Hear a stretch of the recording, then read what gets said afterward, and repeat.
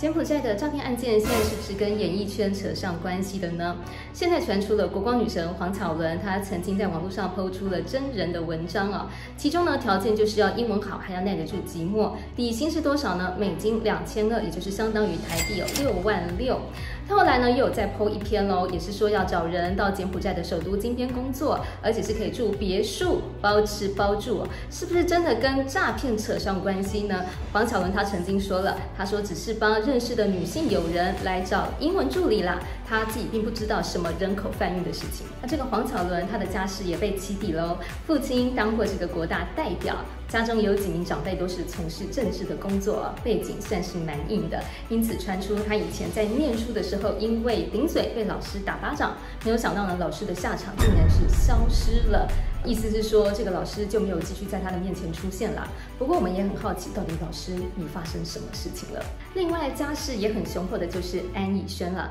安以轩他的阿妈是东区知名的大地主，他的父亲开设的是保全公司啊，所以一开始也传出他是不是黑道。千金呢？不过他不是来自黑道家族啦，但是他有和他的姐妹涛组成了安氏企业，所以包括了刘品言、陈乔恩还有夏雨乔都是安氏企业的成员哦。安以轩的老公陈荣炼因为涉嫌非法经营赌场还有洗钱，遭到了澳门警方的逮捕，在日前的时候呢，也已经起诉了，刑期可能会超过二十年哦。以上就是今天的小金开讲，如果你喜欢今天的影片，欢迎帮小金按赞、订阅、开启叮叮当哦。